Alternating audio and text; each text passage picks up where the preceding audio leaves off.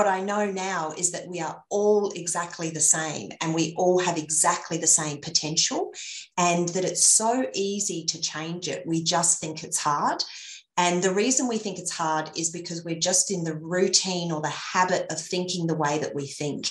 And once we start to tap into the abundance way of thinking, then opportunities come our way, which quite often means meeting people who are wealthy um, and being ourselves around them and them being drawn to us and opportunities coming our way.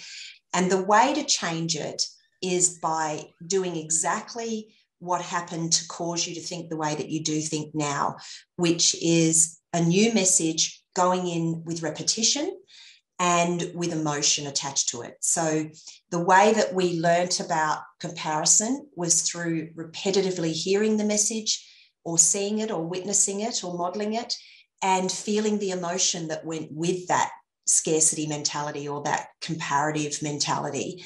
And so, if you do the same thing with a positive message, like I'm the same as them, they're just a wonderful example of what I can do and what I can be, and feel the emotion of it.